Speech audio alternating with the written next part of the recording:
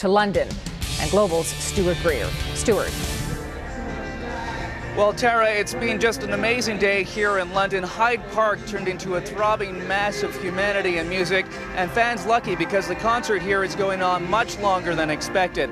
There's no doubt this will be a massive and historic event. More than 200,000 people will be here. Another quarter of a million are expected to gather just outside the concert walls. Today, and he joins us now. Stuart. Well, Kevin, while the attacks came early in the morning, the city is still struggling with the chaos they caused. The uh, tube or the subway here remains closed, and what began as a long and terrible day has turned into a long and exhausting night. Stuart Greer has been on the front lines of demonstrations continuing to take place in Islamabad. Stuart. Kevin, placing Benazir Bhutto under house arrest has stopped the long march to here, the capital, but it hasn't quelled the anger or pockets of protest. Stuart.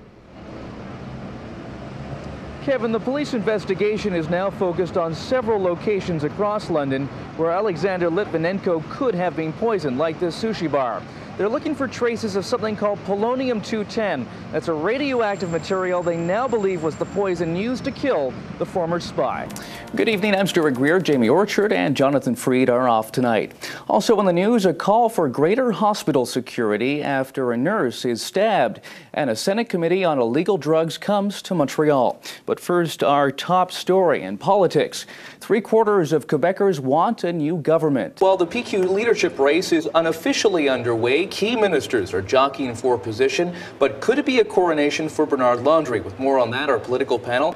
Absolutely. That may have been one of the turning points in the campaign. Welcome back to the 178th St. Patrick's Parade in downtown Montreal, live on Global Television. I'm Stuart Greer along with Tracy McKee and Richard McConomy. And uh, beautiful afternoon, beautiful March afternoon. We're at the corner of St. Catherine Street and McGill College. The parade already underway.